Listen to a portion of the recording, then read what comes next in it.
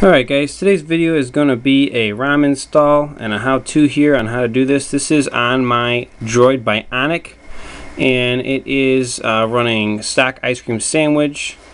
Um, so definitely you have to be on ice cream sandwich. You have to have, show you here, Super User or Super SU installed. This means you have root access and you have to have SafeStrap 3 installed which I have right there. Um, so as long as you have those two things um, go ahead and download the ROM. The ROM that I'm going to show you today is called Icarus HD. I think I said that right. I may not have. Sorry if I didn't. Um, but I'll have links to that in my video description. So let's kind of get into this. First thing we're going to do is we're going to boot off our uh, stock system here, or whatever ROM you're on. If you're using SafeStrap, you could be on any any number of five different ROMs because you have four slots in our stock ROM. This is stock right here, um, so I'm going to power off. We're going to boot into uh, SafeStrap mode, and I'll show you how this works. Let's take a second here. Alright, so power on. Uh, when the splash screen for safe strap comes up, we're going to hit our menu button down here in the bottom left corner. And that should bring us to safe strap. And this is safe strap 3, and this is based on TWRP recovery. Um, so let's let this thing load up here um, while we're waiting. Oh, hang on, here we go. We're already up. So I'm going to pick ROM slots 3 right here. And let's see here. This says I got only about 3 gigs of free space. So you know what I'm going to do? I'm actually going to override a different ROM slot. I'm going to override codename Android. And we're going to set nickname. And we're going to set it to um, all the way back here. I Carus HD HD if I can type right sorry guys. HD there we go. Okay go. Um, we're going to activate that ROM slot. So now that ROM slot is activated. We're going to go back and I'm going to do some wipes because I already have Codename Android installed on this and I don't want it installed on it anymore. So we're going to go into wipes and we're going to do a bunch of them we're going to do a factory reset. I'm going to go ahead and do that. And we are going to go back. We're going to wipe cache. Go back. Wipe Dalvik go back and we'll get out of this and we're going to go to um, right here install. And actually that's we're in the right folder right now which is really nice. So we're going to go to Icarus HD for Integra.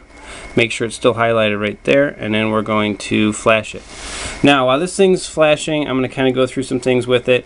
Um, it is ice cream sandwich based.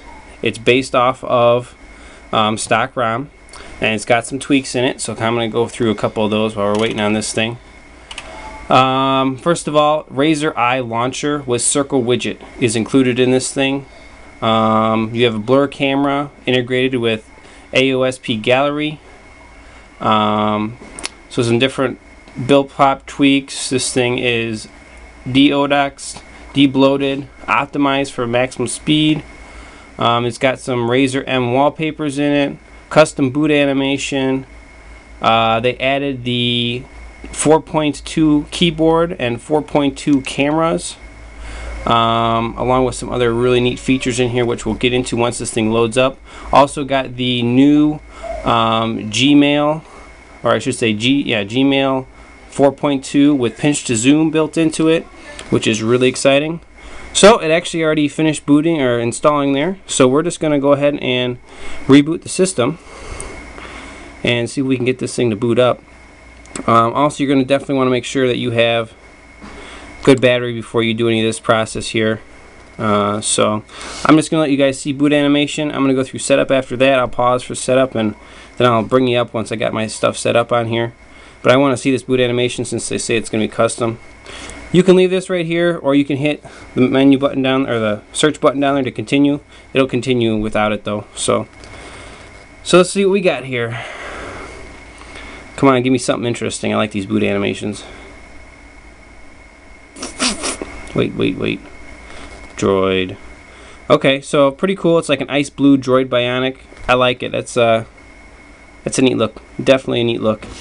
Uh, so I'm gonna pause here, and we'll come back to once I get my stuff set up and this thing fully boots. Probably give this thing a good five minutes to boot just to get everything going. Probably take about that long. Alright guys, here we are, we're booted up. Um, so far, this is actually kind of cool. You, you guys see this. This is your your your, your launcher here. Um, let me see if I can add this widget here. Uh, that's wallpaper. So let's see here. We're gonna we got some RAZR M wallpapers. Pretty cool. Different little stuff there. Let's see what other wallpapers we got built into this thing. Just your standard stuff. It looks like to me. Um, let's go into your uh, apps here. You got ads away on here built into it. Um, FM radio, and then you got home manager.